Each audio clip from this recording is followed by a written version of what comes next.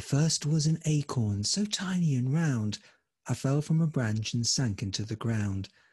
Then as I grew up, I turned into a tree over hundreds of years. So what did I see?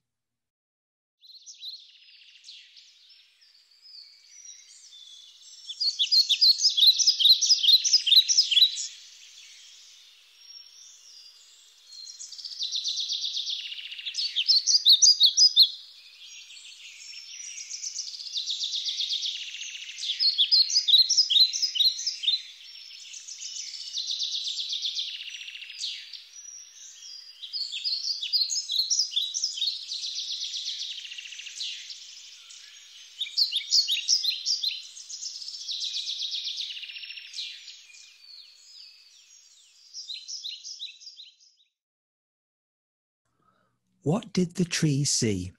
Written by Charlotte Guillain, illustrated by Sam Usher, published by Welbeck.